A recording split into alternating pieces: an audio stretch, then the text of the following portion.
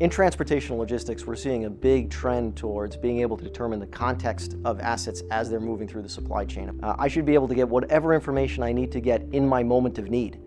If I can know earlier in the process uh, what items I'm collecting, uh, what, what the dimensions of those goods are, I can downstream plan much better how many trailers I deploy to a distribution center, how many trucks I line up for delivery to an end location, um, and I can streamline my, my workflow and my operations as a result of collecting that information earlier. Something we call orchestrating the next best move.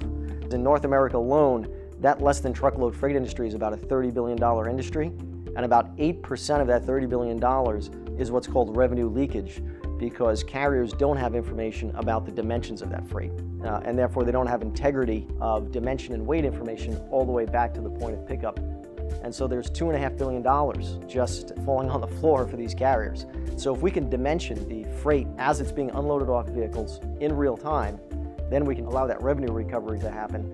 and that two and a half billion dollars to go right to the bottom line of the less than truckload uh, carrier companies.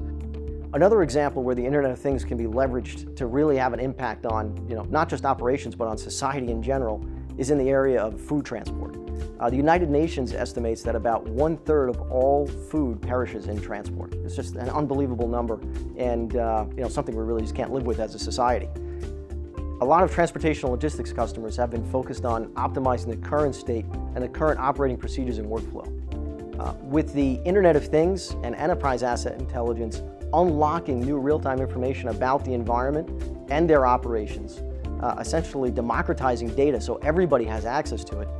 and by leveraging location information together with sensor information about the temperature and state of those goods, be able to be proactive about the way it's managed through the supply chain, reduce waste, uh, decrease the cost of food, enable it to be able to get to more people uh, in a more timely fashion and in a better, more healthy state. We see the future of transportation logistics about orchestrating that next best move.